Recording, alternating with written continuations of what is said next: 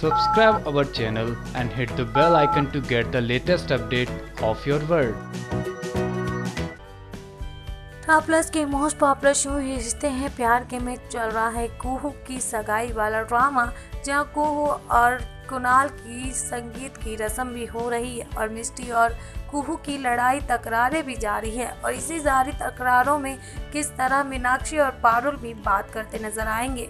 और हमेशा की तरह इनकी बातों को कोई नहीं सुन पाएगा, पर इस बार अबीर के दादाजी सुन लेंगे। हालाँकि दादाजी को शुरू से ही मीनाक्षी पर शक है, जब से अबीर ने दादाजी को ये बताया है कि पारुल और मीनाक्षी के बीच में वो बातचीत चल रही है जो कि बहुत ज़्यादा सस्पेंसिव है और ऐसा लग रहा है कि ये बात बहुत ज़्यादा इंपॉर्टेंट है।